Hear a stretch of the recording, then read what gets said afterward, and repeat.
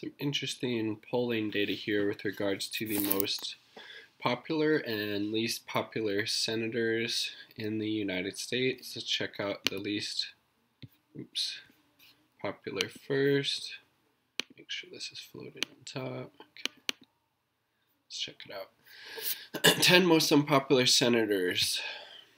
Uh, Collins, so Maine, McConnell, Kentucky, Joni Ernst, Arizona, Lisa Murkowski, Alaska, Menendez, not sure, Gardner, not sure. I think McSally's Arizona.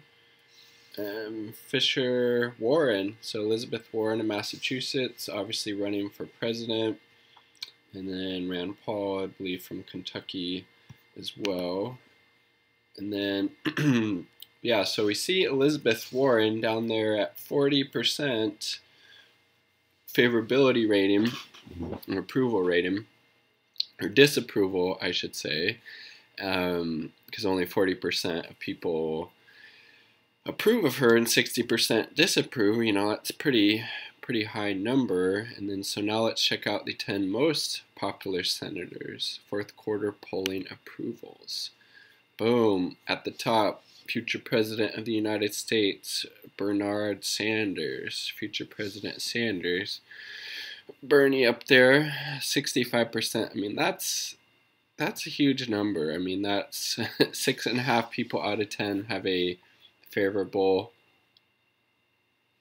view of Bernie Sanders. And frankly, if the media wasn't so completely biased against him, I think that number would be percentage points higher, probably at least 70%, honestly.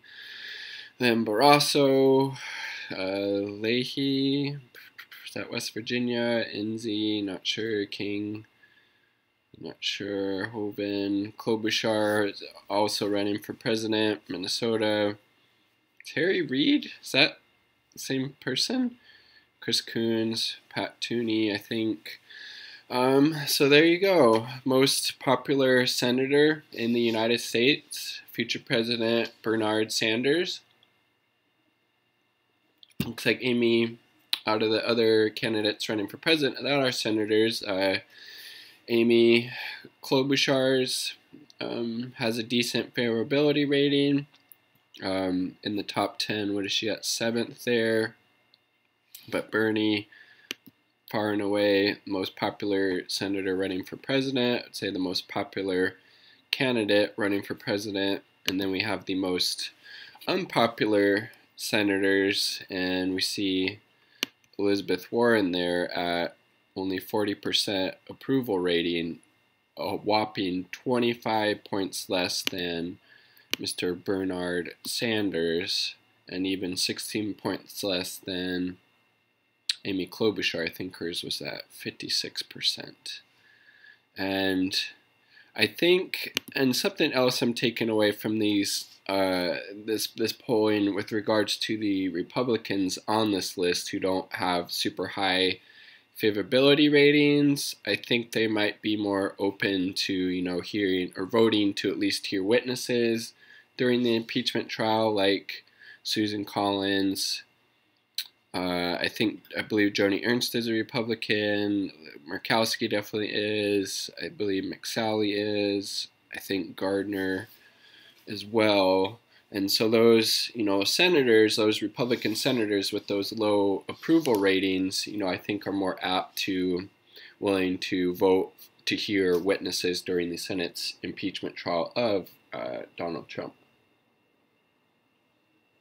Nice nighttime tea, but I mean, what Bernie's got it, you know, it's looking better and better for him getting the Democratic nomination, but that's not to say we need to let up on any of our efforts. We still need to be donating as much as we can, canvassing, knocking on doors, talking to our friends and family, posting on social media, having these conversations, starting this dialogue because again, I, have I've said it before, I'll say it again. He's Bernie Sanders represents the best chance, and the movement he represents are the best chance that the United States has for, you know, drastically improving the material conditions of you know the working people in the United States and you know having universal health care, passing Medicare for all, canceling all student loan debt, canceling all medical debt, making college free, enacting a Green New Deal, ending these ending these wars, legalizing marijuana, you know,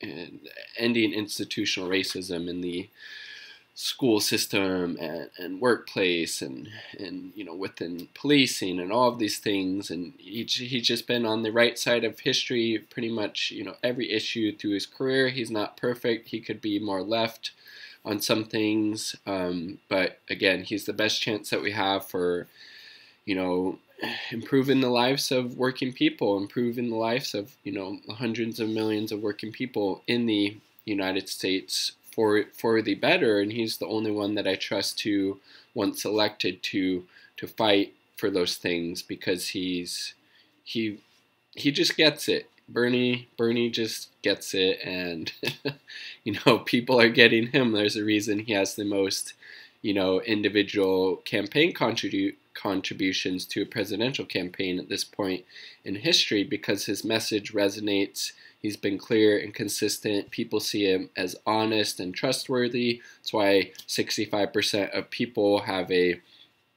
um, you know, approve of Bernie Sanders and, you know, like what he's saying, like what he's advocating for. Because when you actually look at it, when you break down these issues that Bernie is advocating for, most Americans support things like single payer healthcare or Medicare for all, legalizing marijuana, you know, regulating Wall Street, taxing the wealthy more, legalizing marijuana. I think already already said that, but but you get the idea, and so it's no wonder that you know Bernie is the most popular because he supports positions that would benefit people, and he's not talking about how like we can't you know do these things that a lot of other countries have already implemented and if america's so great then why can't we have universal health care and free college and a green new deal as well but you know it's all these positive signs for the bernie campaign are just pointing up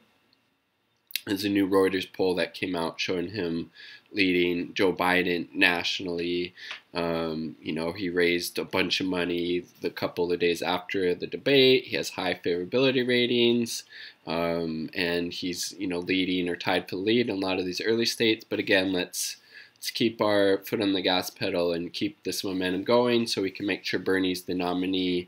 And again, Bernie, Bernie beats Trump. Bernie, 2020. Peace, peace, peace.